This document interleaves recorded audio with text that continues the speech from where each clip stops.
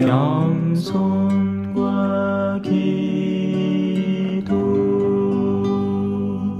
찬미 예수님 그때 몇몇 사람이 성전을 두고 그것이 아름다운 돌과 자원 예물로 꾸며졌다고 이야기하자 예수님께서 이르셨다. 너희가 보고 있는 저것들이 돌 하나도 다른 돌 위에 남아있지 않고 다 허물어질 때가 올 것이다. 그들이 예수님께 물었다. 스승님, 그러면 그런 일이 언제 일어나겠습니까? 또 그 일이 벌어지려고 할 때 어떤 표징이 나타나겠습니까?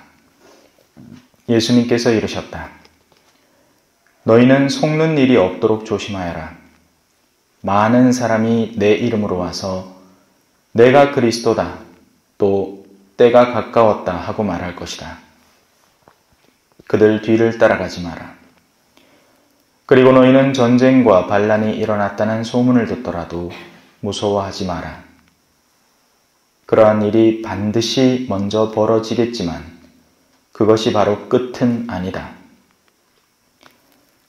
이어서 그들에게 말씀하셨다. 민족과 민족이 맞서 일어나고 나라와 나라가 맞서 일어나며 큰 지진이 발생하고 곳곳에 기근과 전염병이 생길 것이다.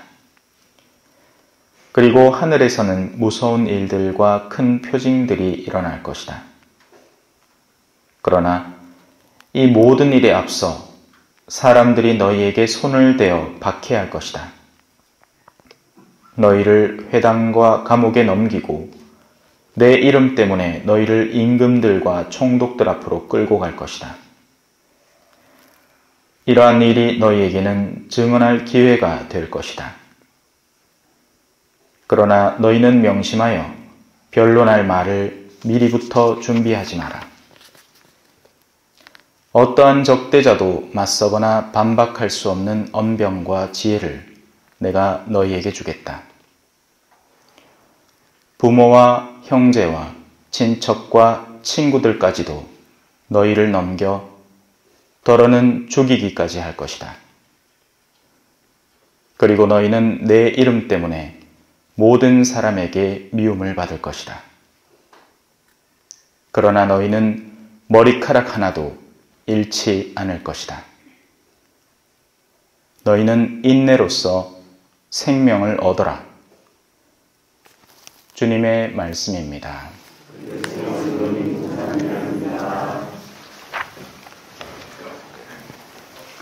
찬미 예수님.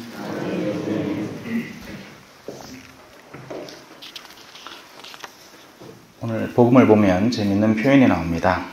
너희를 회당과 감옥에 넘기고 어, 악인들의 손에 넘기는 게 아니라 회당에 넘긴다는 말입니다. 오늘날로 치면 너희를 성당 기관에 넘긴다는 얘기죠. 이로 인해서 그 이 안에 내재되어 있는 여러 가지 것들을 이해할 수 있습니다. 예수님 시대에도 회당이 있었고 예수님은 회당에서 설교를 했죠. 하지만 정작 예수님이 공격당한 곳은 회당이었습니다. 예.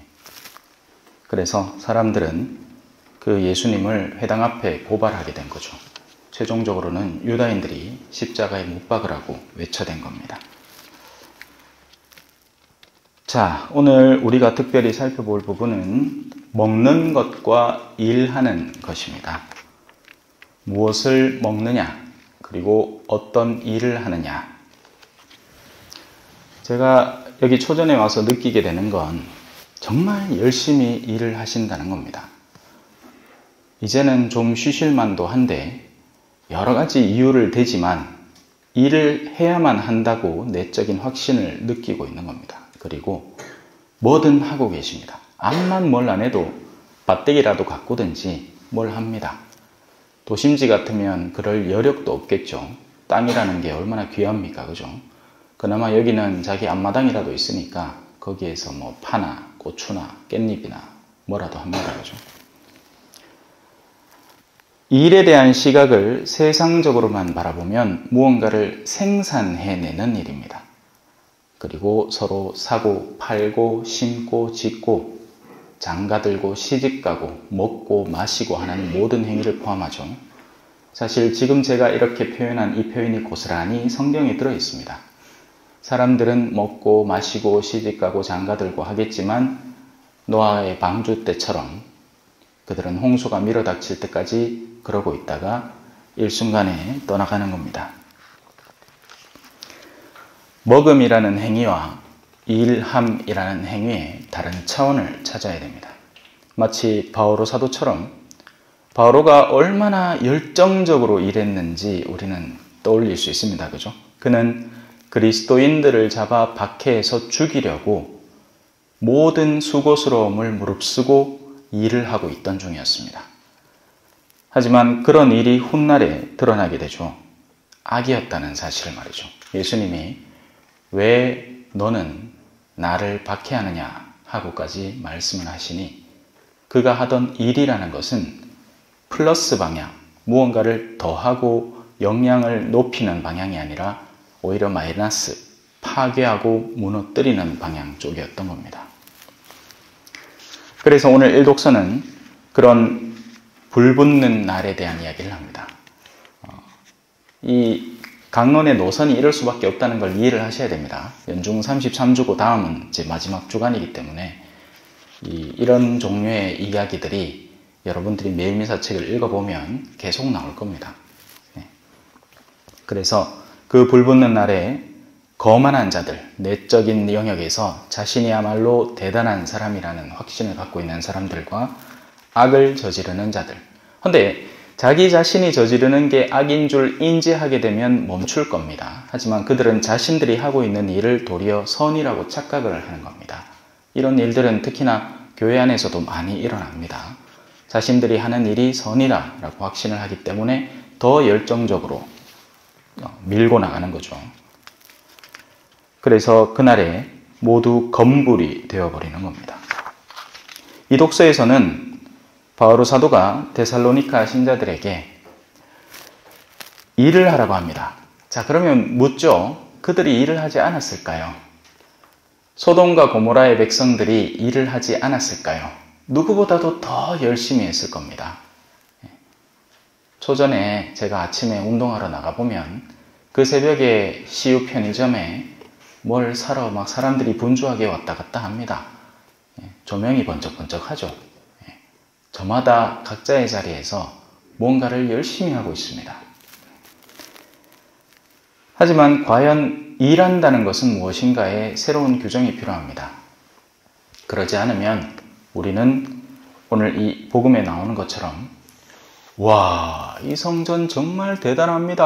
와, 사람들이 엄청 많이 돕고 자원 예물을 내서 이렇게 어마어마한 걸 꾸며놨군요. 하는데 예수님은 지금 너희가 보고 있는 이것이 고스란히 돌 위에 돌 하나 남지 않을 정도로 무너질 것이다. 아무 소용이 없는 자랑거리가 될 것이다. 라고 이야기를 합니다. 우리도 저마다의 삶에서 무언가를 드러내고자 갖은 애를 씁니다. 호랑이는 죽어서 가족을 남기고 사람은 이름을 남긴다니까 어떻게든지 자신의 이름을 조금이나마 남겨볼까 해서 가진 애를 쓰죠. 어제 장례 그 연도를 갔다 오면서요.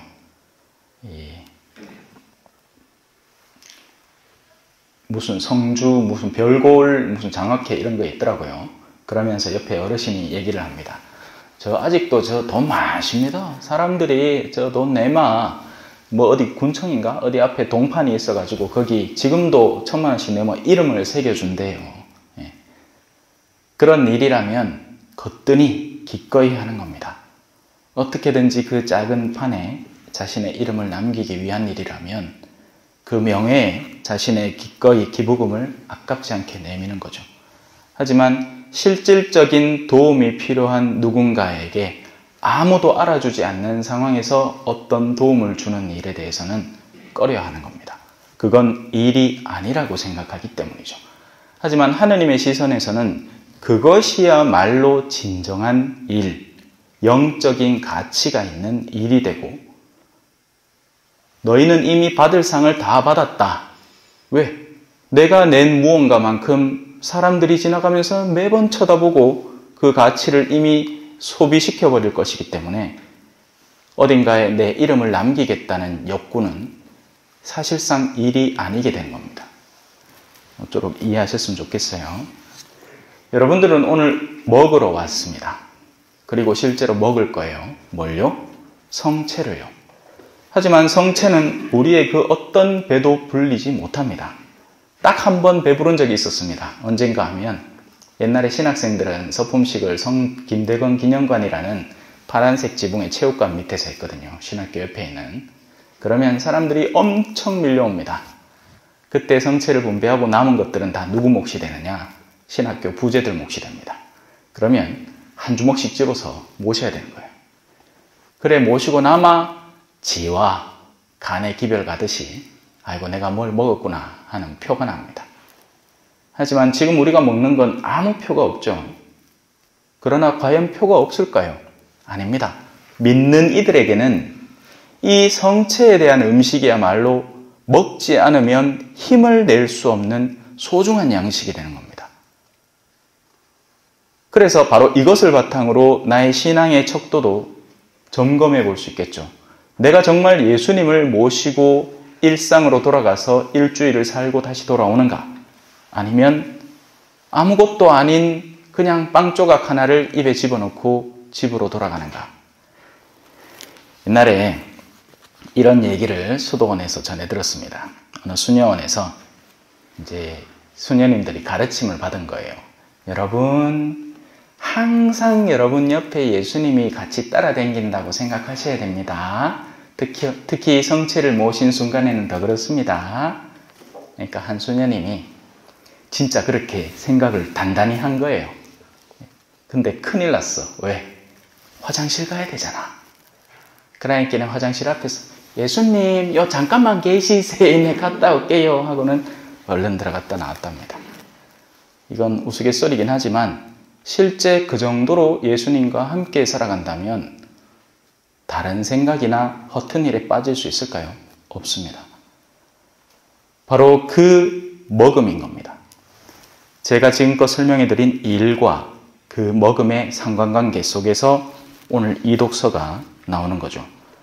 사실 우리는 여러분 곁에 있을 때 일하기 싫어하는 자는 먹지도 말라고 거듭 지시하였습니다. 라는 이 말은 그냥 우리가 단순히 그냥 아무것도 안 하는 것처럼 보이는 게으름의 상태, 그게 일하지 않는 상태가 아닙니다. 마르타도 일을 하고 마리아는 그 옆에서 예수님 발치에서 말씀을 들었지만 예수님의 시선에서는 마리아가 드러낸 그 모습이 실질적인 일이었던 거죠. 그리고 마리아는 그 몫을 빼앗기지 않을 겁니다. 무엇이 더 소중하며 무엇이 더 절실한 일인지에 대한 식별과 분별 속에서 살아갔기 때문이죠. 너무 지나치게 나를 바쁘게 만들지 마십시오. 너무 무리해서 생을 소비하지 마십시오. 그러다가 일순간 모든 걸 상실해버리고 절망에 빠져들까 걱정이 됩니다. 제대로 일하고 제대로 드십시오. 하느님의 말씀을 받아 먹고 우리 영혼의 생기를 돌게 하십시오. 그래야 우리가 살 겁니다. 오늘 복음하는 송입니다. 허리를 펴고 머리를 들어라. 너희의 속량이 가까웠다. 아멘. 찬미 예수님, 겸손과 기도.